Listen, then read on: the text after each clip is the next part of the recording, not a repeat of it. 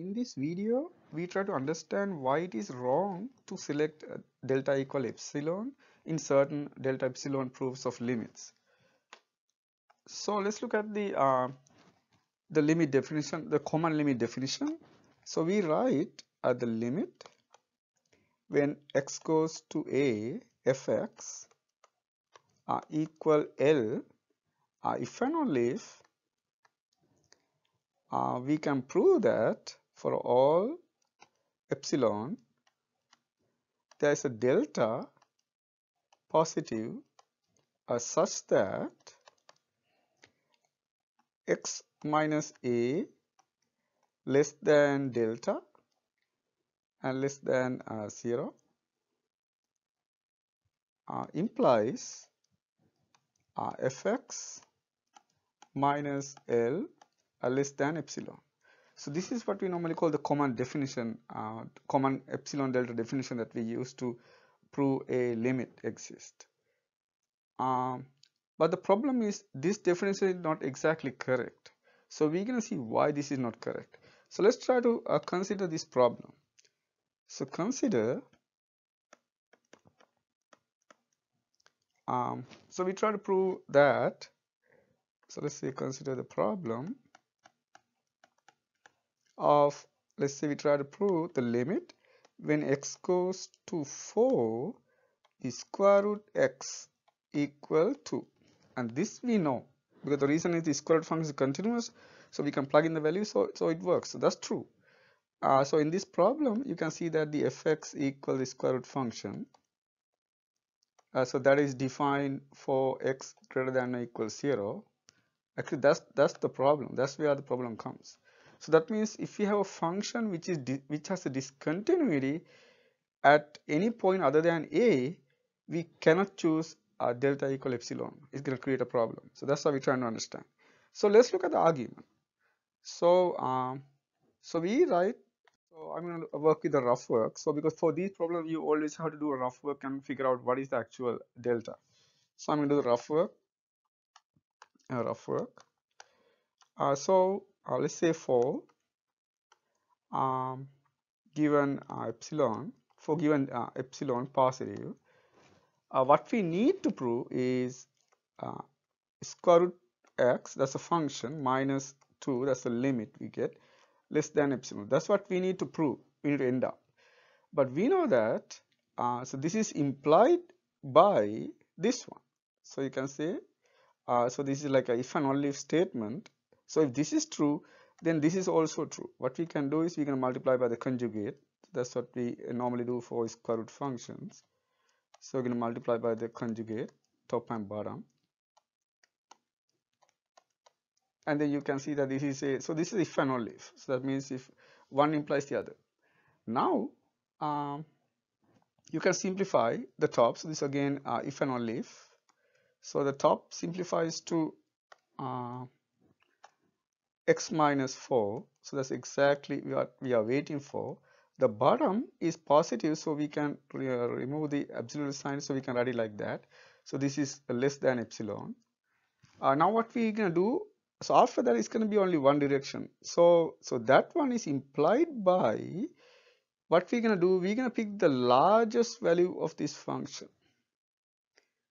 Because if you pick the largest value of this function then this is uh, this is gonna uh, imply because you can see that so the observation is, is square root has to be greater than or equal 0 so that means if you pick the largest value and the implication to be that way so you can see that uh, the largest value is absolute value uh, absolute of x minus 4 so the largest value of that that function 1 over square root x is 1 half because you can see that uh, since the square root x is greater than or equal to 0, if you add something positive, it's going to be smaller because we are adding something to denominator. So this is true and the implication go that way. And again, we can write that, so there's implication again to this direction. So you can see that you, uh, instead of um, 1 half, I can say 1 because then the implication go that way because if you say 1, the 1 half is definitely smaller than that. So that means the implication goes that way. So the last two only going the left side, the top uh, if and only if. So this says that you have an option to select epsilon equal delta. because you can see that this is exactly what we need so so the problem is actually this is wrong you cannot do that uh, so let's see why this is this is wrong uh, so uh, what we normally do is in a, in a regular form because I have seen that like everywhere uh, so uh, sometimes like we say so I'm in red uh, it looks like we may choose um, delta equal epsilon.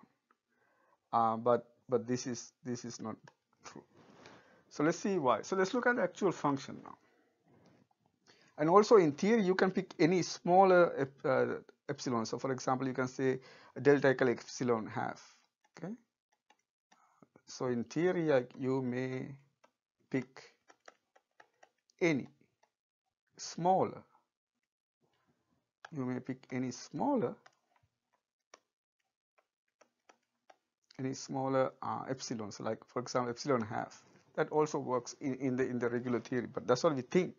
But all of them are wrong. So uh, so let's look at the reason now. So I'm going to look at the graph. Uh, so this is the graph of square root function uh, so it's going to go like this and it's inclusive function.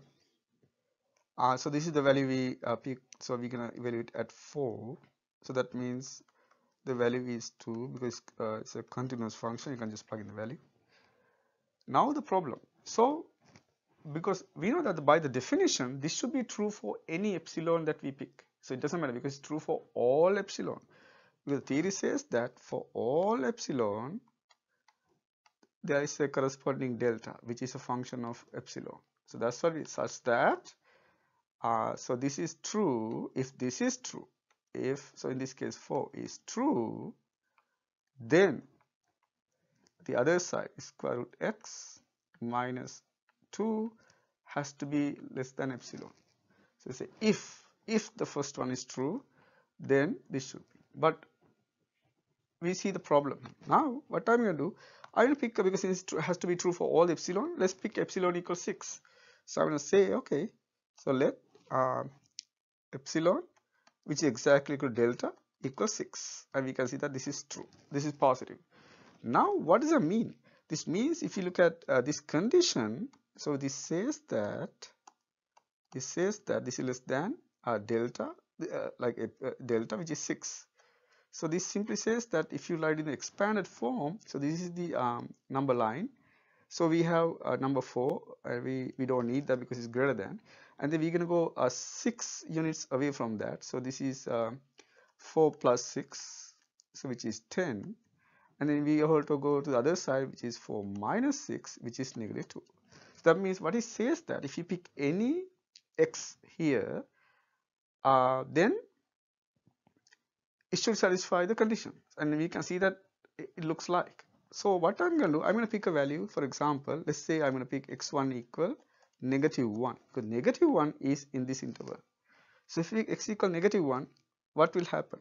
So you can see it is uh, so it is the interval is going from negative 2 to uh, 10 so I pick the value here. So that's the value I'm going to pick x1 equal negative 1 and you can see that for this value the the implication there are two sides the first side and the second side. And you can see the first side is true. So you can see if you pick x1 uh, equal negative 1 and you can see that so this is this is true. So 0 less than uh, x1 which is 1 and uh, which is actually negative 1 so you can see uh, negative 1 minus, uh, 4 and then Uh, so this uh, this is actually uh, less than uh, 6 because you can see that you see that this is equal to 5 so this is true so this side is true but what happened to the other side? You can see the other side, you're going to get for this value negative 1 square root minus 2 less than epsilon which is equal to 6. Is this the case? And you can see that this is wrong. The problem is this is not even defined. So you can see that it's not defined. So that means this side is false. So you can see uh, the left hand side is true but the right hand side is false so that means this implication does not work anymore so that means this proof is completely wrong after that so so now what's the problem here so you can see that we cannot pick uh, epsilon delta equal epsilon when there is a discontinuity because according to the proof epsilon can be anything. So if you pick a large epsilon this always falls. So if there's a discontinuity other uh, at any other point other than a then we cannot pick delta equal epsilon. So that means the correct proof has to be that's what i'm always using so like this you need to consider the domain. So the correct proof uh, correct uh, definition has to be we can say limit uh, x goes to a fx equal L means or if and only if means for all epsilon there is a delta positive such that for all x in the domain of the function we have to add that part.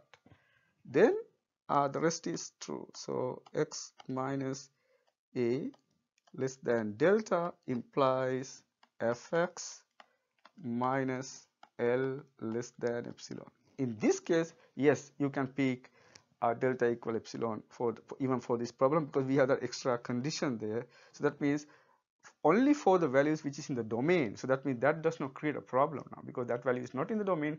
So we don't worry about what's going to happen there because it's not it's not true for that part. So if you start with a false, then uh, so you know that in logics, uh, so this statement is true uh, because this is, starting one is always for uh, is, is false so that means your definition has to be like that otherwise the the argument is completely wrong okay so thank you